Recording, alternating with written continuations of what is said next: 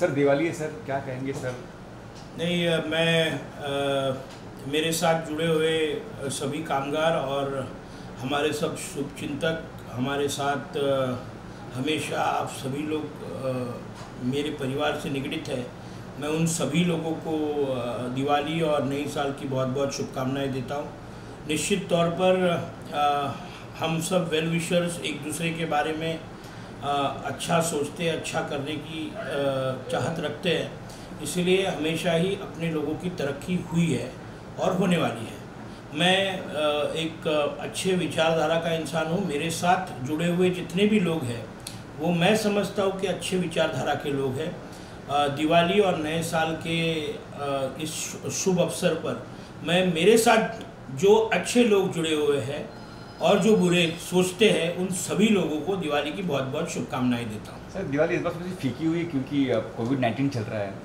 निश्चित तौर पर भारत में और पूरे वर्ल्ड में आज कोरोना का एक सेकेंड फ़ेज़ आ रहा है। ऐसी रूमर्स है या सच्चाई है हमें मालूम नहीं क्योंकि जो फिगर्स जो हमें देखने मिलती है वो बहुत कैलकुलेटिव है। उसमें क्या गिमिक है मैं नहीं जानता बट निश्चित तौर पर कोरोना महामारी को हम नज़र नज़र नज़र सामने देखते हुए हम सबको अपने आप को बहुत प्रिकॉशनरी लेवल पर अपने हाथ धोने हैं सोशल डिस्टेंसिंग मेंटेन करनी है।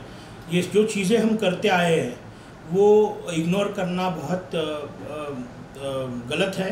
आप सभी लोगों को मैं आश्वासित करना चाहूँगा कि अपने आप को प्रोटेक्टेड रखो, अपने घर वालों को प्रोटेक्टेड रखो। नहीं तो आपको कोरोना के साथ लड़ना पड़ेगा।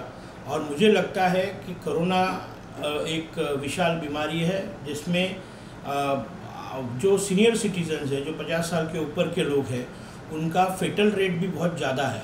तो हमें, हमारे बारे में ना सोचते हुए जब हम ये काम से या बाहर से जब घर जाते हैं, तब हम हमारे परिवार के साथ रहते हैं, हमारे बुज़ुर्गों के साथ रहते हैं।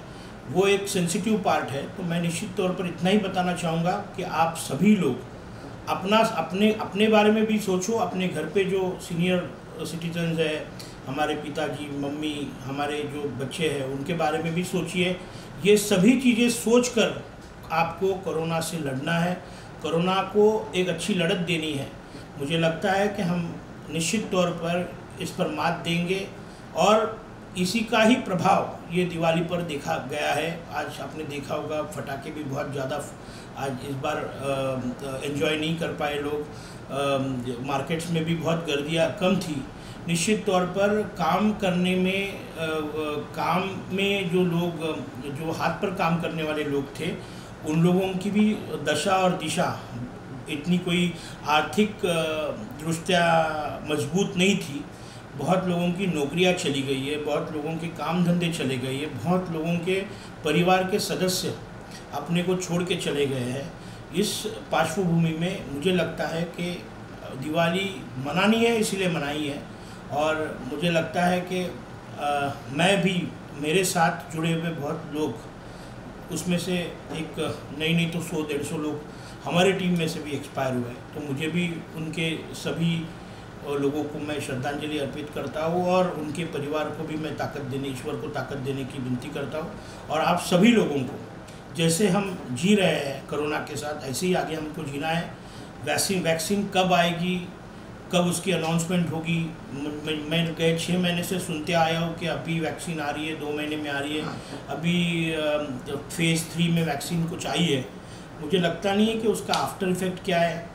क्या होने वाला है? बट हमें आज ऐसा समझकर ही जीना है कि कोरोना के साथ हमें लड़ना है। मैं आप सब लोगों को फिर एक बार दिवाली की बहुत बहुत शुभकामनाएँ देता हूँ। और अपनी लड़ाई इसी तरीके से जारी रखिए। सर, हम लोग आज भी